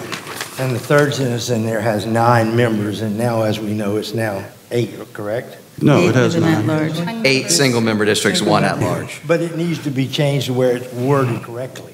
So then, as I said, the one she picked out is in reference to the penny sales tax. We'll go ahead and take care of that tonight. Mm-hmm. But moving forward, we need to look at all those policies and make changes, adjustments, revision as we go through. Any additional feedback? I'm not sure that I will end up as the chair of this committee, but I've written down all your comments to, to pass. I have no doubt. Probably will. There's just really no reason to be rude. I know, It's- I know. There's Oh, just yes. no, really no reason to be rude. Right. All in favor, please respond by saying aye. Aye. Aye. Opposed, nay. The ayes have it, 3-0. We'll now entertain a motion to adjourn. So moved. Is there a second? Second. Second. Any discussion? Not Hearing none, we'll, we'll call the question. All in favor, please respond by saying aye. Aye. Opposed, nay. The ayes have it. We are adjourned. All right, the next agi- item on the agenda after returning from the recess from committees are the reports from standing committees. First, a report from the Committee on Academ- Academics and Innovation. Ms. Kathy Littleton, you are recognized. Mr. Chairman, the Committee on Academics and Innovation met earlier this evening, and on recommendation of the committee, I move to approve the Head Start Budget Expenditure Report for September 2022, Head Start Credit Report for September 2022, and prospective new hires. We have a recommendation from committee, so no second is required. Is there any discussion? All in favor, please respond by saying aye. Aye. Any opposed? The ayes have it by a vote of eight to zero. Also, on recommendation of the committee, I move to approve the second reading of the Administrative Rule JICDA-R, Student Behavior Code. We have a motion, a recommendation from committee, so no second is required. Is there any discussion? I have a question. Uh, What were the uh, amendments or changes to the student behavior code? Because there were several meetings that there were bantering about different changes, and I'd like to know what they are for the public's consideration. Um, They should have been in your board docs, but, um, I've said for So the public's consideration. and so basically, it, um, it adds the fact that parents will be involved in any interaction with their child having to do with discipline. It talks about um, if there is a meeting between a counselor and, um, if a- there's a meeting with a child for um, discipline reason, then a counselor will be involved with that, that it won't be done by teachers or SROs. It'll be done by the counselor itself. That's primarily the changes. I believe there's still a law on the books in South Carolina called in loco parentis. basically saying that the adults in the building are in the place of their parents. Not to say, not to say that parents should not be involved, they absolutely should. But there are some considerations here. Every time you speak to a child or a counselor speaks to a child, they're going to be required to call the parent. Is that what you're saying? That is not what I'm saying, that's not Well, tell me what you're saying. That's what, that's what I gleaned from it. And that's not what's written in the policy. It is if there is a formal meeting held of the child, a parent to be there if the parent wants to be there. If the parent chooses not to be there, that is their right. Absolutely. That's correct. And I'm all for parental involvement, but I'm not for it if it, uh, if it hinges upon the administration and the school's ability to run the building effectively. Every time you speak to a child, you don't have to get permission to call a parent. That's all I'm saying. But I don't think the policy says that, is what she Well, said. I'm glad to hear that. Okay. All right, is there any further discussion on uh, Administrative Rule JIDCA? Hearing none, I'll call the question. All in favor, please respond by saying aye. Aye. Any opposed? Ayes have it, by a vote of eight to zero. Also, on recommendation of the committee, I move to approve the proposed 2022-2023 local board-approved and innovative courses as provided. We have a recommendation from a committee, so no second is required. Is there any discussion? Hearing none, I'll call the question. All in favor, please respond by saying aye. Aye. Any opposed? Ayes have it by a vote of eight to zero. Mr. Chairman, that concludes my report. Thank you. The Committee on Finance and Capital Planning met earlier this evening, and on recommendation of the committee, I move to approve the out-of-state travel as presented. We have a recommendation from committee. No second is required. Is there any discussion? Hearing none, I'll call the question. All in favor, please respond by saying aye. Aye. Any opposed? Ayes have it by a vo- vote of eight to zero. Also, on recommendation of the committee, I move to approve the award of FPB 666 2022-2023 to East Coast TMV LLC for the design, provision, and installation of metal canopies for an initial contract term of one year for an estimated value of $784,000 with the option to renew for four additional one-year terms with a potential contract value of $4 million. We have a recommendation from committee, so no second is required. Is there any discussion?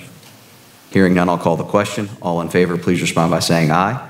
Aye. Any opposed? Ayes have it by a vote of eight to zero. Also, on recommendation of the committee, I move to approve the award of IFB 667 2022-2023 to Trane US Incorporated for HVAC equipment for an initial contract term of one year for an estimated value of $300,000 with the option to renew for four additional one-year terms with a potential contract value of $1,500,000. We have a recommendation from committee, so no second is required. Is there any discussion? Hearing none, I'll call the question. All in favor, please respond by saying aye. Aye. Any opposed? Ayes have it by a vote of eight to zero.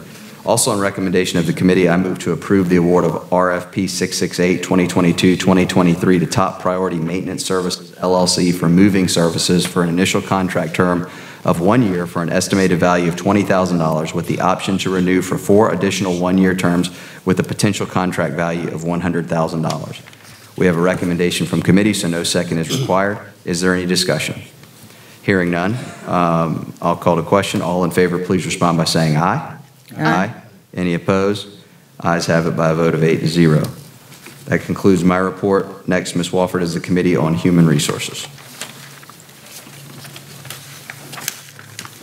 Mr. Chairman, the Committee on Human Resources met earlier this evening, and on recommendation of the committee, I move to approve the amendment of Board Policy BA first reading as presented. We have a recommendation from committee, so no second is required. Is there any discussion? Hearing none, I'll call the question. All in favor, please respond by saying aye. Aye. Any opposed? Ayes have it by a vote of eight to zero. Does that conclude your report? I'm sorry, yes, Mr. Chairman, that concludes my report. All right, the next agenda item is the board resolutions. And the first resolution is item 11A, which is resolution to direct finance staff to work with trustees on a property tax decrease proposal in light of the passage of the one cent sales tax for schools. Mr. Ramsey, you are recognized. Mr. Chairman, given the passage of the one cent sales tax and the revenue that it will consistently generate year to year, I move to direct finance staff to work with the chairman of finance committee to be named the Committee on Finance and Human Resources on a property tax decrease proposed regarding the county's significant debt service millage leveraged on Berkeley County citizens and the district's failure to lower millage as promised to the voters from previous bond issuances. Second. We have a motion and a second. Is there any discussion? Yes. We're talking about debt service millage, not general fund millage. Debt service millage? Yes, sir. Yes. Mr. Ramsey? What's, what, the motion, is it for debt service millage reduction or general fund millage reduction? You should never ask a question if you don't know the answer. It's, uh, yeah, it's debt service millage leverage. That's correct. I'll read the motion again. It says, it says, given the passage of the one cent sales tax and the revenue that it will consistently generate year to year, the motion is to direct finance staff to work with the chairman of the finance committee to be named the Committee on Finance and Human Resources on a property tax decrease proposal regarding the county's significant debt service millage leveraged on Berkeley County citizens and the district's failure to lower millage as promised to voters from previous bond issuances. So the motion is to direct finance staff to work with the chairman of that committee to propose, um, let's see, to work with staff to propose a property tax decrease. That's what the motion on the table is. The resolution says to work with trustees. Trustees. That includes all members of the board, does it not? I'll, I'll make a motion to amend Mr. Ramsey's motion to include board trustees. Do I have a second? Second. All right, we've got a motion to amend to include that the finance staff will, will submit the proposal to the board trustees. Um, And there's a motion to amend on the table. All in favor of the Uh, amendment, have please some more. respond by Just saying aye. another question, just Well, another Let's get through this first, and I'll recognize you. All in favor, please respond by saying aye. Aye. Any I was opposed? part of the, dis- of the discussion. I have not finished my discussion. I've, I've revised it though to include trustees per your comment. Carry on. This is something that uh, I do not disagree with. In fact, I agree with it wholeheartedly. However, I believe we need to be wise and prudent in making sure that we don't reduce the debt service millage to a degree that is going to create a problem, making sure that the seven-year capital projects plan is completed.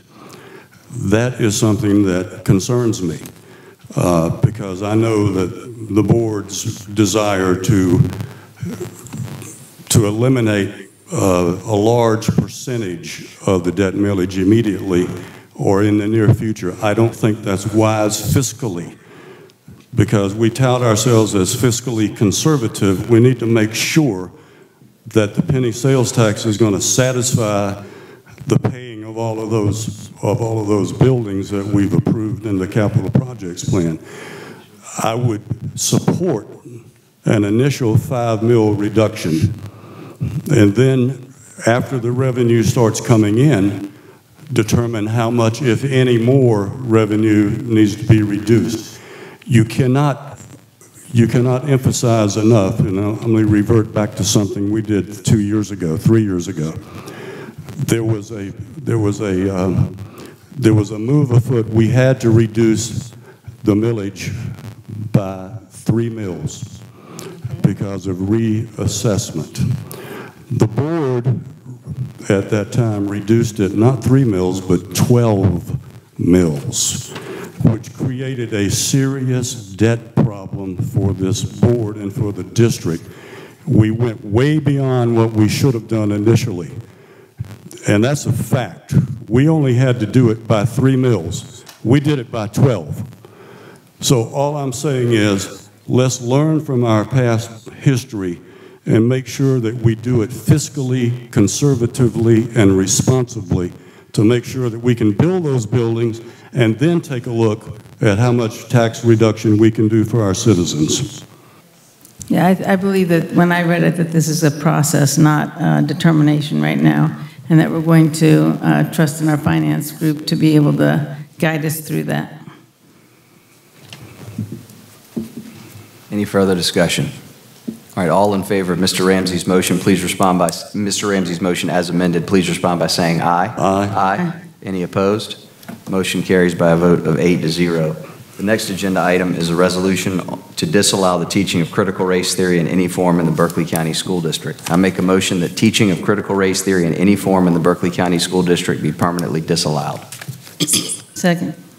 We have a motion and a second. Is there any discussion? There's some discussion here because, as I recall, last year, year before, uh, the then Superintendent of Education, Molly Spearman, made a comment that uh, the State Department of Education does not teach uh, any of their standards in the CRT, critical race theory. Uh, and it, I don't really know if there's a need for this resolution for two reasons. Number one is really not defined for me because I don't know exactly what it entails, what it allows to be taught, what it does not allow to be taught. I do not want a policy that constricts teachers and, and makes them vulnerable to be criticized, chastened, and disciplined for something that they may or may not know what they're supposed to be teaching. I think that's commonsensical. Does anybody want here a teacher to be disciplined for teaching something that they were not told they should not teach? I don't. So if we pass this, I need to know, well, it looks like it's going to be passed. But the question is, what actually can be and cannot be taught? Because that's if I'm in a classroom, and I was in a classroom for 11 years, I needed to know what I can and can't do. If you put something out there, no critical race theory, and it's up to some bureaucrat or board member or a, a principal to say you're violating it, it has to be in writing as to what they're violating. Does that make sense, ladies and gentlemen? It's just, it's just common sense. Thank you, Mr. Barrow. I agree. I have a definition here of critical race theory, and I think what we can do is, based on this board's motion, assuming it passes, to create a policy that sort of spells this out so that teachers do have clear direction. The definition I have is critical race theory is a perspective on modern life, a worldview that believes all events and ideas around us in politics, education, entertainment, and the media, the workplace, and beyond must be explained in terms of racial identities. Under critical race theory, every political idea, election, textbook, movie, news report, work environment, and local concern cannot be judged according to effectiveness, quality, or accuracy, but according to whether minority individuals and issues are afforded more influence in everyday life. Even George Washington, Abraham Lincoln, and the U.S. Constitution itself are subject to being canceled out of American culture, such as being removed from the names of public schools for failing to live up to the standards set under the critical race theory. That said, I do agree with you, sir, that we, if this motion passes, we ought to set forth a policy that provides guidelines for our teachers as to what the critical race theory is and what can and cannot be taught. I'd like to have one other question answered by any board member, any member of the cabinet.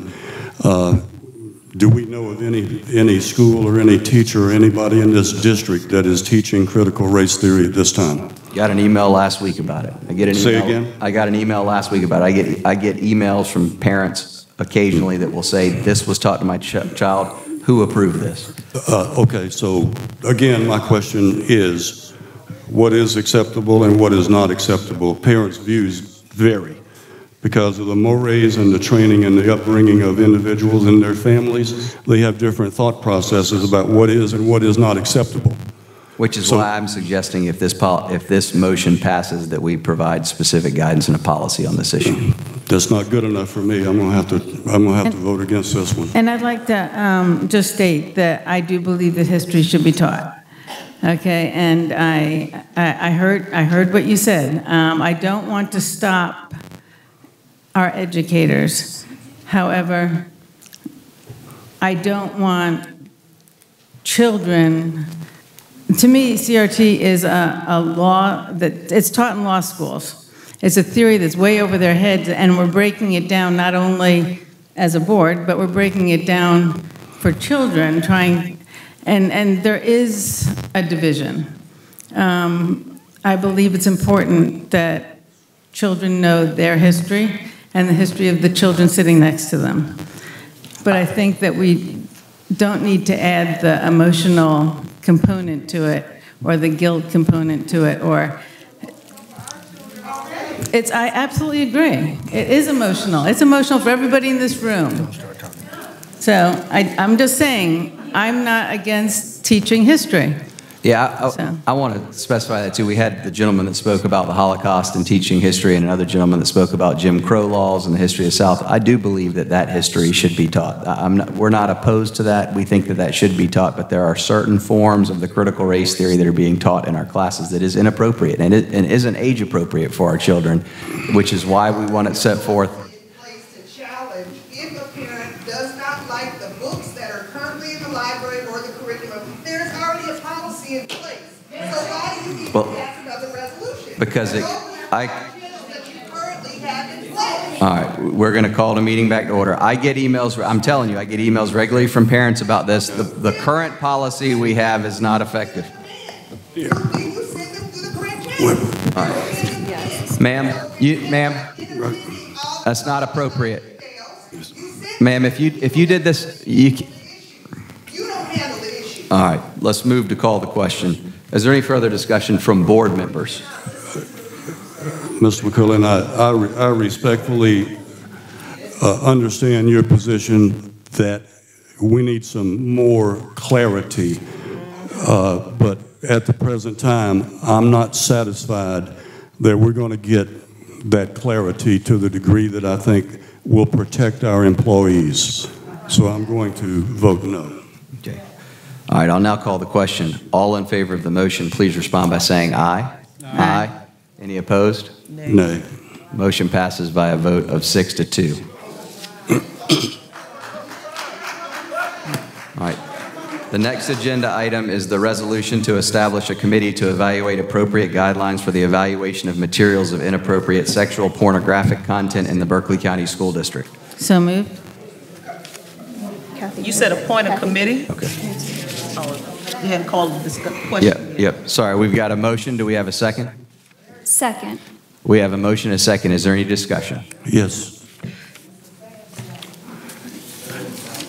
Okay, so a committee is, is fine. Made up It of- doesn't say who it's going to be comprised of.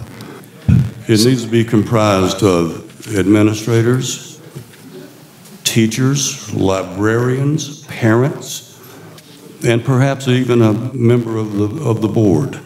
Well, what I, yeah, what I envision is that board members send suggested either committee makeup or particular individuals that they would like to serve on that committee. I will consider those and make appointments for board approval and a vote at the next meeting or, or a following meeting. This But- is, but this motion is simply, simply to create a committee. But even now, we need to invite those members of those groups that I've specified as being eligible to be on the committee.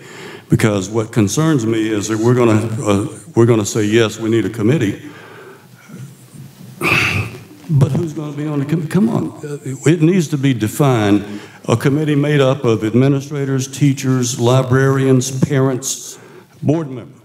Oh, okay. Yeah, and I'm, what I'm saying is I welcome board feedback on that, and if you give, want to give me a potential makeup of the committee, and you That's want what I to, just and you did. want to nominate particular individuals for the committee, we'll consider that and vote on that at, a- at another meeting. No. Why not change the resolution to include those titles now? So when I vote on it, I know it will be comprised of school librarians, reading teachers, administrators, board members. I'll have that, those titles ready, those titles in my mind, so I'll come up with names to go along with Ms. Bradley, you can make an amendment to that. the titles, You can, you can make an amendment to the resolution to include I'd like to that. amend the resolution to include school librarians, reading teachers, administrators, all grade levels, as well as um, Parents. board members, Parents. parents. I, I think just in the interest of time, rather than rattling off stuff, we ought to give this some thought, discuss it as a board at the next meeting. Once we get the, com- the committee passed, then we can vote on the framework and the individuals. that She will be made an on it. amendment, she made a, a motion for amendment, I second it. All right, there's a motion and a second to amend the policy. Is um, is there any discussion of the amendment? I'm a no vote on this. I think we just need more time to consider it before we determine, rather than just throwing out names of people. Mr. Barrett, do you have a problem with the- what you said, but just doing a little bit later where we can get the right people in- involved? That's what I'm asking for, but this is putting this in place without those particular individuals involved. So you before this is finalized, you want to have a committee established already? No, I don't want individuals He wants to go ahead to and it. vote on the committee makeup tonight. The and I'm makeup, it makes more sense including to think about parents, teachers, librarians, principals, and maybe even a board member or two. I don't see a problem with that. Well, thank you, Mr. Hinson, because I don't Representatives either. of these I- groups I is think it's you're just, I think it's just obvious common sense that when you say you're going to have a committee, who in the world is going to comprise membership in the committee? No, I agree that we have a vote on that. I just say I I think we ought to think about it and vote on it at another meeting. But if I'm not mistaken, this resolution came from whom? Somebody thought enough about it to put it on here as it is. So that says there's a thought process already in motion. All we're asking is that you include titles to include those individuals, so when you go back, you will have those titles and you'll get a better grouping of individuals on the committee. That's all. Do you not think it would be wise to think about it more? Because you've listed reading coaches, teachers, board members, and parents. Is there anyone else that you may have left off that it may, additional time may be helpful? That's all I'm saying. Well, then you would cl- include additional members as needed or as necessary. That's all. I may put a parent there who after two sessions can't attend anymore. So therefore, I go to my list and I pull up one that's next, put them on the list in the committee group. I just think time, Are passage you going to call the question on this particular? So the question on the table is whether we amend it to include the specific titles of who, Ms. Bradley? Yeah, uh, tha- That's the part I need to know is the. Your who school piece. librarians, Okay. your reading teachers, coaches, you said, your parents, your administrators, your community member, one or two. Go go- don't go a little bit slower, out. hold on. Principals, parents, who else did you say? You got librarian, reading teachers and coaches, principals, parents, Board member, Board member. members, maybe two. okay? Mr. Hinson might like to read, and Mr. Ramsey may have time to read. Mr. Baer may be a reader, you know. Ms. Littleton may be a reader. Anybody else? I think that'll do. Mental health counselors? Teacher forum, uh, that would be great too. Teacher forum person. Okay. That's not one you said before. That's why I'm saying I think it makes sense for us to think about this. So you got librarians, reading teacher coaches, principals, parents, board members, and teacher forum. Mental health. Mental health? But if you get one from each group, one from each category, you got a cross-section of people with a cross-section of ideas. Any other categories of committee members? That, that, I can agree with that list of people. I think that's, we talk about, um, learning loss, so maybe the mental health, as you said, would be great in that process. Yep, mental health, teacher forum, board members, parents, principals, reading teacher coaches, and a librarian. I still think it makes sense for us to maybe think about this a little bit more, make sure we're not leaving anybody off, but, because this would be an important committee. When you, So all in favor of adding, the- of the amendment that is proposed by Ms. Bradley, please respond by saying aye. Aye. Any opposed? Nay? For the vote, all right, let me see the hands on that one. So the motion to amend passes. So the motion currently on the table is the creation of the committee with Ms. Bradley's amendment for librarian, reading teacher coaches, principals, parents, board members, teacher forum, and mental health professionals. All in favor of the amended motion, please respond by saying aye. Aye. Aye. Motion passes by a vote of eight to zero. All right. Bear with me one second. Where's my doggone notes? The next agenda item is the superintendent's report, and while we are very excited to hear from Mr. Dixon, he will be doing his report at the next meeting. For board chair updates. The board um, runs on a committee structure under policy BA, and it's my pleasure to act as chair, as my first act as chairman to appoint the following committee persons. Ms. Kathy Littleton will remain as chair of the Academics and Innovation Committee. Joining Kathy on this committee will be Mr. Barrow and myself. Dr. Jimmy Hinson will chair the Finance and Capital Planning Committee, and once policy BA is amended, will be the Capital Planning Committee. Joining Dr. Hinson on this committee will be Ms. Yvonne Bradley and Mr. Joe Baer. Mr. Ramsey will chair the Human Resources Committee, and once Policy BA is amended, will serve as the Finance and Human Resources Chairman. Joining Mr. Ramsey will be Dr. Crystal Wigfall and Ms. Sally Wofford. May I ask a question? Yes, ma'am. We're all new. Yes, ma'am. Why would you put all new people on finance? Just a question, I, I, I have a thought, but let me hear what your pattern, your thinking was. So finance is actually moving to human resources. So that committee will be Mr. Ramsey, Ms. Wofford, and Ms. Wigfall. Capital planning, which, yeah, Dr. Wigfall. Capital planning will be Dr. Hinson, Ms. Bradley, and Ms. So I wrote down Baer. finance, so it's not finance, it's It's, well, it's, capital it- planning. it's currently finance and capital planning, but the policy amendment we made tonight to BA, if that passes third reading, will be changed to just the capital planning committee. And again, my comment, my question is, Mr. Hinson, Mr. Baer, and I are all three new. Yes, Why not put someone who has some experience in finance on the committee? Just a question. So that, that committee, that committee going forward will be capital planning, not finance. Okay. And so let, so let me explain that. what? Okay, go ahead. He's a, he's a general contractor. He's worked in maintenance before. He's a construction engineer. You've been on the school board before and overseen schools getting built. Wrong reasons. I think all of y'all, Wrong reasons. I think all of y'all have experience, which is, well, you asked the question, I gave you my answer. All right. Thank you, sir. All right, and then the next uh, announcement I'll make is that new board orientation, which is required for all new board members, is scheduled for February 16th um, in Hilton Head, and that is an important workshop to attend, so each board member ought to um, calendar that February 16th, 2023, and we'll get you some more information on that. The final agenda item for tonight is a motion to adjourn. Do we have a motion? So moved. Second. We have a motion by Ms. Wofford, a second by Ms. Littleton to adjourn. Any discussion? Discussion. Yes, ma'am. Why did I get this information on legislative advocacy if we're not going to talk about it? Uh, anyone, no one going? From, you're talking about from the School Board Association? I'm not sure. I can't read that small writing. That's, yeah, that's in our board packet. I do not, let me see, let me find it. I think that was just a, let's see. No, it's um, this thing here. I got too much paper up here. I'm not even sure where it's going to be. I think it's just an announce. uh, uh, Boston Marriott.